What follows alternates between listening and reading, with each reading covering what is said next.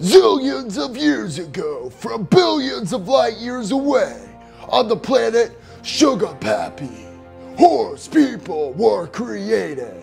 How? Ask your parents. The horse people ate all of their sugar cubes, and apples and hay, and their planet was dying. Their only remaining hope was to invade planet Earth. This is the terrifying, true, realistic story of the horse people from outer space.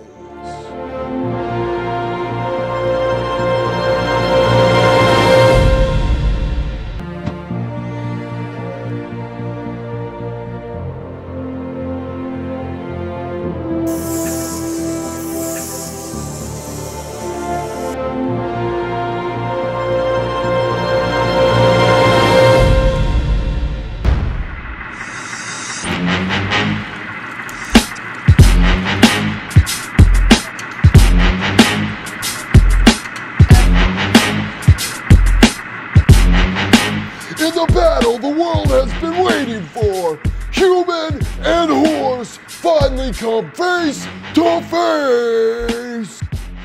As two lovers torn apart by planet, species, and anatomy are forced to choose between love and loyalty.